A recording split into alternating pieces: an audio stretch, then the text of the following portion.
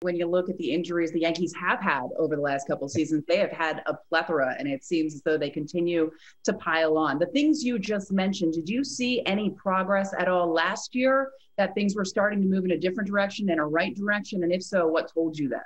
I think we absolutely did. Um, you know, it may not necessarily be reflected. Um, you know, there was obviously improvement in terms of where we ranked relative to other teams, but I think for, for lack of a better term, 2020 was a little bit of a dumpster fire in terms of Major League Baseball injuries. I um, actually spoke with a, a, good friend in another organization who told me that he had more injuries in a 60 game season than they'd had in any of their previous five 162 game seasons.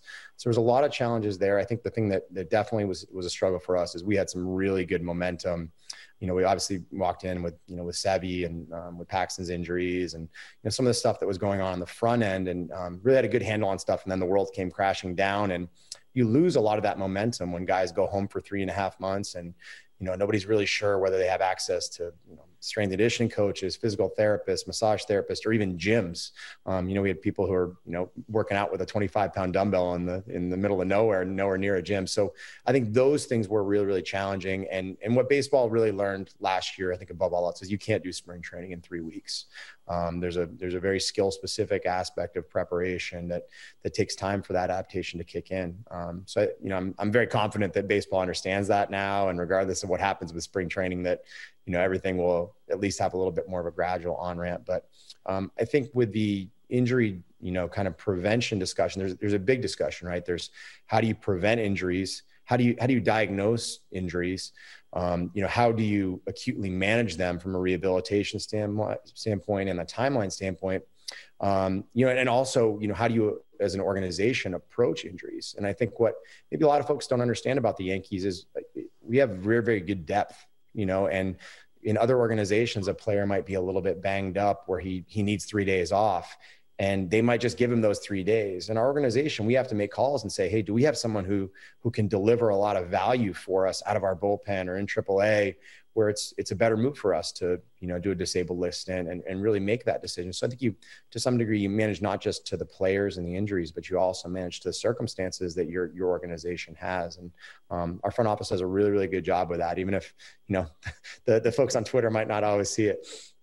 They don't always love it. Uh, two guys that are absolutely crucial to yep. the Yankees' success: Giancarlo Stanton and Aaron Judge. Two. Yep very big man men you know different builds as far as baseball is concerned how differently do you treat them and do you approach them to try to make sure they don't suffer from some of those strains and pulls that they've had over the past couple of years yeah no doubt about it. those those are guys that you know I, I think the world of and they're they're amazing workers and i think you know anytime the, the first thing you have to say is anytime you see an athlete like that who does have some chronic stuff you know there is a perception that they're they're not working hard or anything like that and that couldn't be further from the truth those guys are they're rock stars you know, in every aspect of their preparation, from how they come into the training room to the work they put in the weight room, throwing med balls, taking BP, running the bases, whatever you ask of them, um, they've been really good to do. And um, I'll, I'll, say this: both of those guys took a dramatically different approach this offseason um, from what they'd previously done. I, would say in both cases, they they lifted less than they have in the past. Um, you know, Aaron in particular has really taken a heavy interest in, in a lot of yoga. Um, we've had, you know, a great instructor in Dana Santos who's come in and helped out at our, our spring training complex during this off season period with, with, you know, not just Aaron, but, you know, Luke and Mike Ford and Thairo and Nick Nelson, a lot of those guys who are down there. So um, that's something that I think is really important. But I think, you know, also we have to be mindful of um, the stresses on guys who are, you know, six foot seven, six foot eight, you know, big dudes standing around for long periods of time in cleats.